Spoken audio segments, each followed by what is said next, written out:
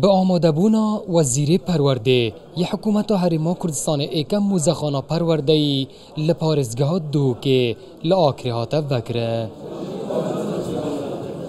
لپشتی سرگریان خو اتناف همی بشین و موزخانه دا وزیر پرورددان دیار کرن کو کرت پرورد القضا آکره جه پیگاندنا گلک کادران بویو اف موزخانه دی پیناسه یا و چنده همی کتن بە هیمەتی هەموو لایەک توانراکە ئەو مۆزەخانەیە بنیادونرێەوە ئەمڕۆ ئفتاحی مۆزەخانەیەمان کردەوە ئەو قوتابخانەیە بە تایبەتی و کەرتی پەروەەردە لە ئاکرێ شوێنی پێگەیاندنی چەندین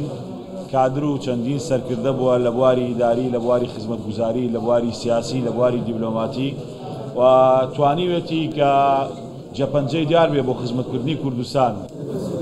به ناو موزخانه دا گلک تومارین کوونارو کرسته و بلگنامین دیروکی ین گریدای بخاندنا بره و ین هاتینن نمایش کرن و آلیه پیرابوی داد دیار کرن که آوان دویتن وان بلگنامیان بپارزن و بخن برچاوان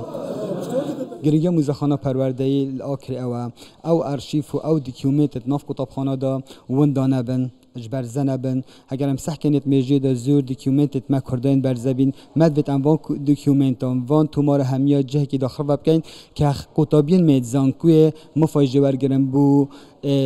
بحث خوی زانستی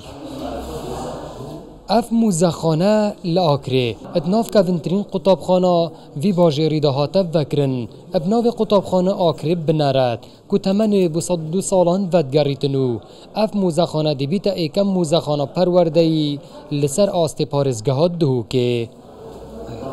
به فکر ناو موزخانه آکرید بیت خدا نا اکم موزخانه پروردهی السر آست پارزگاه دو که کود ناو دا اف بلگنامه این هاتین نمایش کرن ده دربرین الشواز بر خاندن کن لوی دوره